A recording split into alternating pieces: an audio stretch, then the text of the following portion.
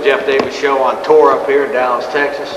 And uh, we're visiting with John Trochman, who is the co-founder of the Militia of Montana. Mr. Trochman, it's a pleasure to have you uh, here for this short little, Thanks for having me. this short little interview. Uh, John, first off, if you would, just give us a little, uh, a brief history of, of what caused you to, uh, or what, you know, how did this Militia Montana form, and what, what did you see the need for and, and all of that? It's not something that happened overnight. I've been in the military back in the early 60s. I was in the Cuban Missile Crisis. And I watched the missiles stay as the ships brought decoys out.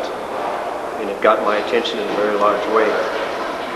I watched my president get shot in the face the first time I voted. Uh, on military television, it was probably a little more than the public was able to see. So I've been in hot pursuit ever since, you might say. For the last approximately 22 years, it's almost been 100% involvement. And, uh, the, the word militia was a word that we used in early 1994 for probably more of a rallying purpose than anything else. It reflected the ancestry of our nation, where it started, where it all started from. Tell us a little bit, John, if you will. I visited your booth over there. Tell us a little bit, uh, if you will, of, of your perception of this of this, this so-called new world order. Well, you mean the global grabbers? Right, right. That's exactly what it is. A global grab for all the natural resources, uh, everything that mankind needs to exist. And as near as I can tell from the information that we have, we have a lot of solid documentation. Uh, we don't say without it. uh, Is a population reduction that's well underway. We just haven't seen the body count start coming back yet. And it's, it's going to happen in this country. From the information we have, the population in America is supposed to be dropped to a maximum of 150 million by the year 2000. Uh, just let me interrupt you for a minute. What, what are- what are some of the mechanisms? Well- through abortion and a Well, no, way beyond that. No, it's, it's way beyond that. According to the Cobden clubs, uh, which uh, Congressman Gephardt from Missouri is a part of, which is the minority speaker of the House today, the population has to be reduced by military force when required. That's a pretty sturdy statement. But what we perceive them doing is to accomplishing this through what the public perceives as natural catastrophes that man has no control over, when in fact uh, they do have control over and it's being done on purpose. In 1976, I heard the Sierra Club say that we, the people, are wasting the natural resources that they believe belongs to them at much too rapid a pace and must be culled back.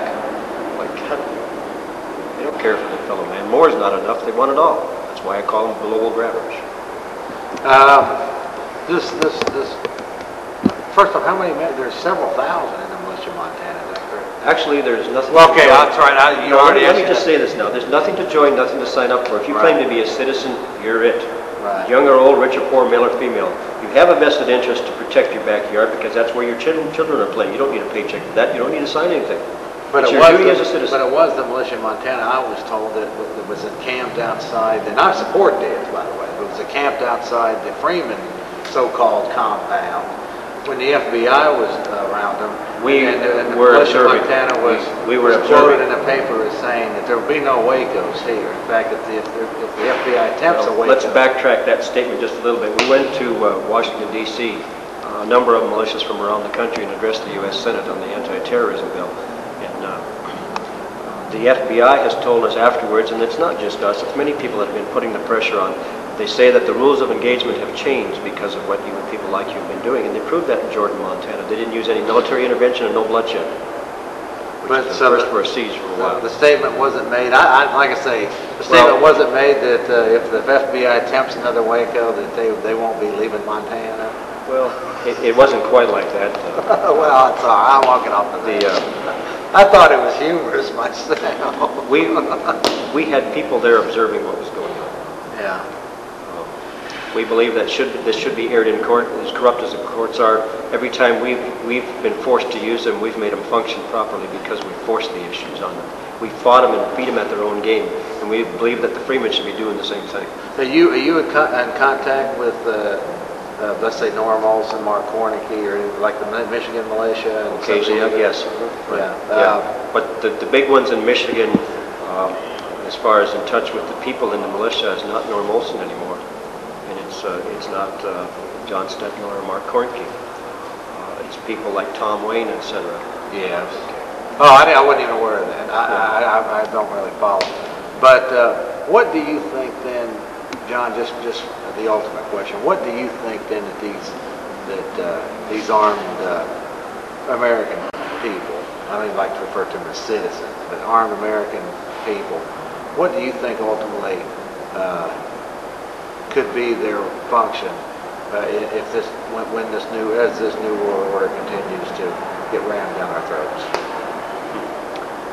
Well, the biggest weapon in America today is the media, is the tool of what you're doing and other people are doing across the country to inform, to educate. Uh, Much more powerful than anybody's firearm. The firearms that the militia holds is extremely antiquated compared to the, uh, the lethal technology that our military holds that they claim is non-lethal weapons. That's a lie. It's extremely lethal, and it's mass destruction at one stroke of their equipment. What, what we see and suggest is, is it all happening through an educational process to wake our fellow Americans up. Um, Our founding fathers faced the same thing, and there were six years of very hard, gut-wrenching education that they went through to rally their 3%. Now, we already know we have more than 3%, but more is not enough. We want all of America together, to work together, to put away our petty differences and to put our nation back together. John Trochman, I wanted to say that I, I- first off, I appreciate your time you spent on the, on the Jeff Davis program. Did you have a final comment or, or statement you'd like to make to the viewers that are watching the show at this time? I sure would. Don't take anybody's word for anything, folks. Work out your own salvation. L- Learn to save your own backside. Learn what it's all about on your own. Do your own research. Certainly don't, uh, don't listen to the lying lips of the great Satan that we have to call mass media today. Anyway, okay, uh, John, again, I do appreciate it. Thank you. You're a man that I've uh, had, had respect for for a while. I'm just a plain old plowboy. We're all in this together. Yeah, I agree.